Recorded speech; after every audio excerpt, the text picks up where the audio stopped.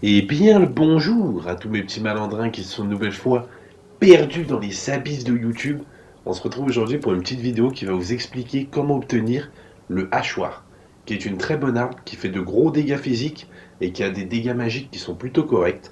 Donc pour le faire, vous n'aurez besoin que de deux items, une grande massue que vous pouvez looter euh, sur les gros mobs qui sont euh, dans le monde 5 et l'âme de démon boursouflé, donc l'âme du juge.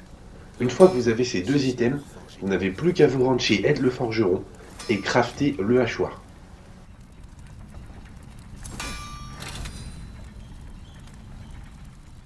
Donc, comme je vous disais en début de vidéo, c'est une arme qui peut être vraiment redoutable. J'espère que ce petit tuto euh, pourra vous être utile au mieux.